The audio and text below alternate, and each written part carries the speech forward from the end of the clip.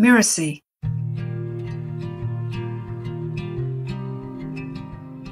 There was once a king who often sailed up and down the Nile.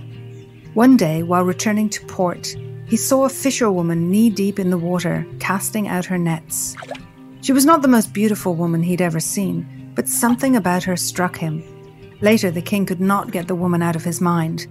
He sent his advisor to find out whether she was single, married, or widowed. The advisor returned saying, The woman is married to a fisherman, and though he is poor, he is thought well of by his neighbors. What a shame, said the king. The advisor said, Don't be discouraged. You are the king and can have whatever or whomever you want. If your conscience allows, there are ways to get rid of the husband. The two put their heads together and devised a plan. Hi, I'm Lisa Bloom, the story coach, and you're listening to Once Upon a Business. In each episode, we explore a story, a fairy tale, folk tale, or traditional story, so that we can discover the amazing lessons relevant for business and for entrepreneurs.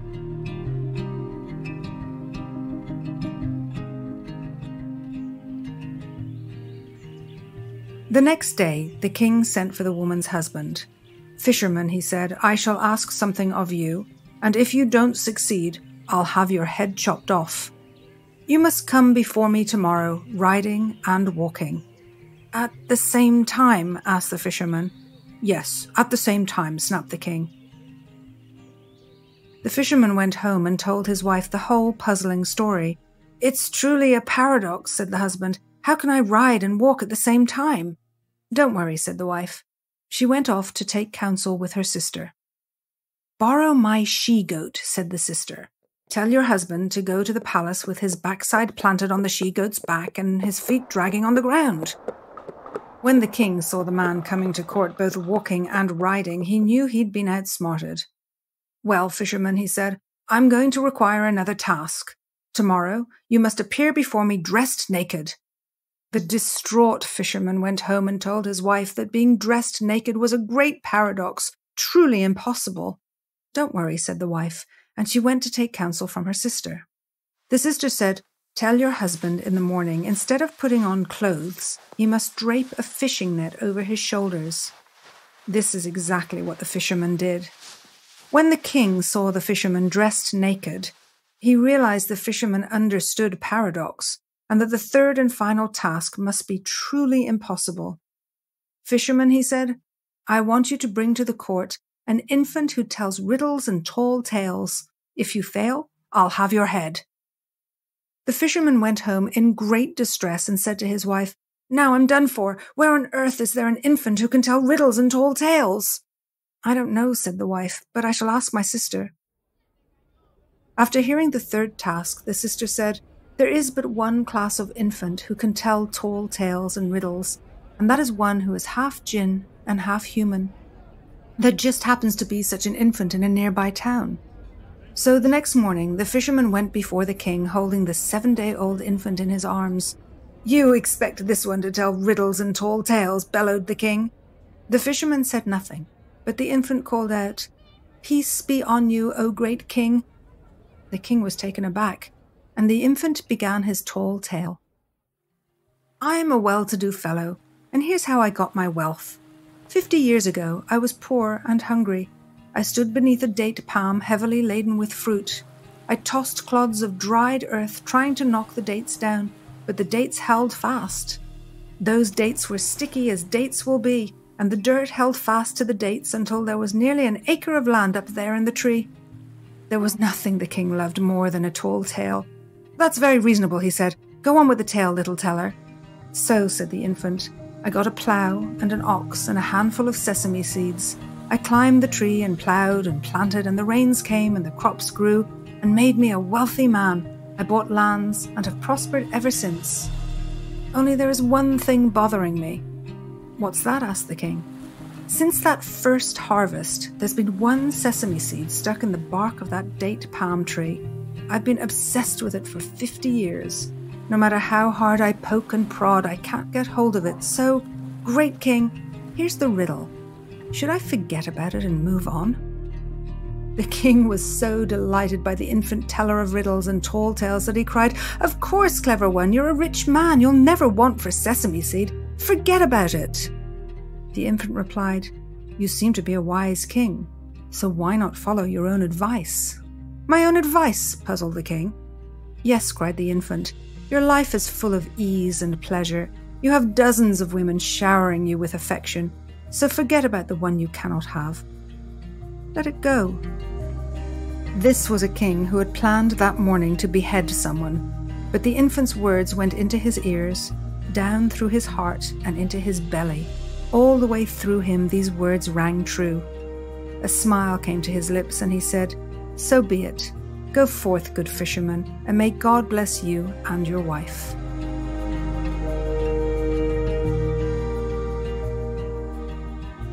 This story is from the book The Moon and the Well by kind permission of Erica Helm Mead. One of the reasons that I love this story so much is that it's convoluting. It takes us on a complex and fascinating journey that offers surprises all along the way, like a good story should be. And there are interesting characters in the story and complex emotions. It's part of why the story is so resonant. It really makes us feel. At first, we meet the king, who is struck by this simple woman, the story tells us, not the most beautiful woman he's ever known, and yet she gets stuck in his mind. So the king and his adviser concoct a plan that is, in essence, a cruel game, an amusement really for them, and yet life threatening and frightening for the poor fisherman. And the simple fisherman, though scared and overwhelmed, asks for help, and along with his wife, they outsmart the king again and again. They don't give in to the powers that could so easily determine their fate. They choose to be resilient and find a solution time and time again. This so reminds me of the entrepreneurial journey. We're faced with challenges that feel overwhelming and beyond what we're capable of resolving. And yet, with advice, with thoughtfulness, and with collaboration, we can find solutions. It's such an important lesson. There will always be powerful elements that could determine our fate market trends, algorithms, a global pandemic, so many events beyond our control that could be catastrophic. And yet there are so many stories of business owners that rise above these challenges and thrive. It speaks to the importance of getting help, whether it's your coach, your mentor, an advisor, or your wife's sister. You need to reach out and get input into your challenge so you can move forward. If the fisherman was stubborn or prideful and determined to carry this burden alone, well, he would have lost his head. Every successful entrepreneur has known how to ask for help. There was a time when I was struggling. What I'd been doing in my business before was not working now. I realized that I was paying my assistant more than I could afford to pay myself. And it was really frightening. I had a lot of financial obligations and I was just not meeting them. I remember going for a walk on the beach. It's a place that always soothes me. It clears my head and helps me work things out. I knew I needed help. And over that 45 minute walk with the waves gently lapping in and seagulls flying overhead, I made a list of the people I needed to speak to who could make suggestions, give me guidance, and ultimately get me back on track. There's an interesting question I've been asking my students and myself for years about this story. Who is the protagonist of the story? Who's the story really about? There are several ways of looking at this and most stories. Perhaps the story is about the fisherman who manages to keep his head, literally, and solve paradox after paradox with the help of his wife. Or perhaps it's a story about the wife, a woman who knows how to stand by and help her husband, who is smart and clear headed, someone who can be relied upon no matter what the situation, and who knows how incredibly smart her sister is. or maybe the story is about the king, who teaches us about the danger of greed and envy, how it can be a kind of madness that will lead us down a dark path. How often have you followed a competitor with a less than positive emotion in your heart, where you've craved or even resented their success? It is a dark place.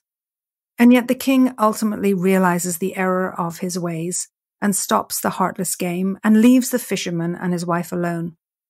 It's a strong warning that we should not take these emotions lightly. Yes, we all feel them.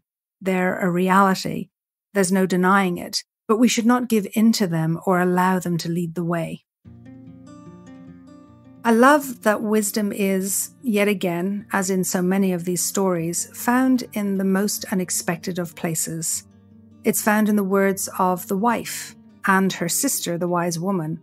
It's found in the behavior of the jinn baby, and it's even in the simple sesame seed. It's a powerful reminder to take note of the hidden, quiet places where we can find the very best guidance. Sometimes it's understated, sometimes underrepresented, but it's that perspective and approach that may be exactly what we need.